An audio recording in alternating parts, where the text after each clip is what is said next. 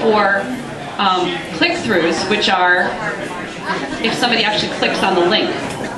And they only pay for the ones that actually, the ones that click through, they pay more for.